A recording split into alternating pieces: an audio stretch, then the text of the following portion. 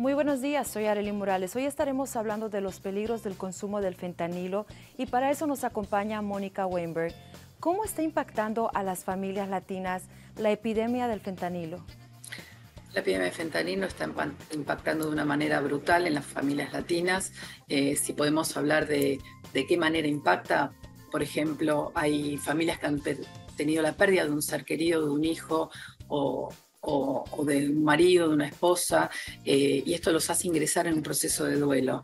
También hay desintegración familiar, porque los lazos familiares se ven debilitados por la pérdida de la confianza y las dificultades para lidiar con los efectos de esta problemática. Hay un estrés emocional y financiero, porque las familias no saben si cuentan con los recursos para poder hacer frente a los tratamientos, de qué manera afrontarlo emocionalmente. Eh, también está el miedo al estigma de qué va a decir la sociedad, de que un miembro de la familia está pasando por esta situación.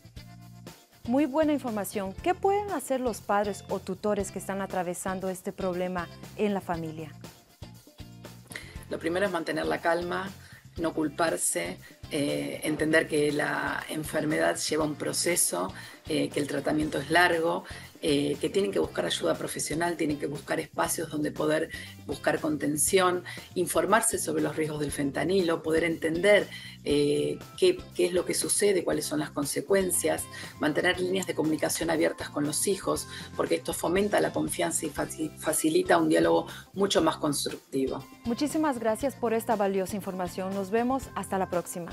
Este segmento es patrocinado por la Iniciativa Latina de Salud del Condado de Montgomery.